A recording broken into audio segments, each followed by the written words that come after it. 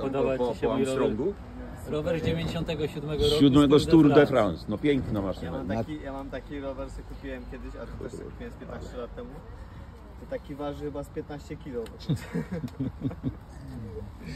A ten ile waży Darek? Jasne. Darek ile waży? Nie chcę, żeby 8 żeby kilo. go nie zepsuć. 8 A kilo. kółko jak się zakręci, to się będzie kręciło do jutra. Trzeba ustawić bez samochodu. No. Coś to może. A tu jest kolejna perełka. Dobry.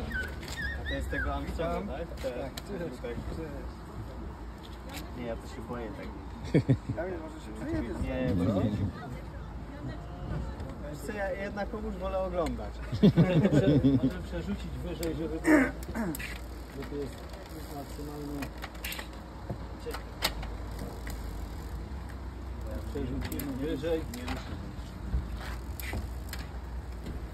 O, bo tu była...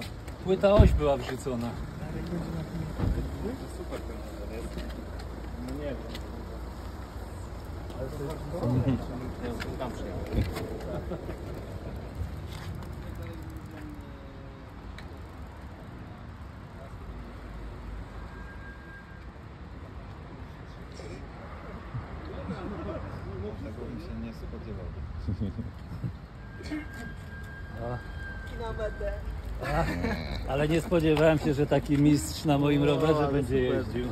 Jak? Fajny. Fajny. Kiedyś muszę kupić taki. To nie taki, tylko taki, żeby był uniwersalny i na, na szosę i taki na trochę A gravela. na, na, na shooter, co? Gravela. Te gravele teraz, które są najlepsze. Spoko, uciekam, bo mnie odjadą w takim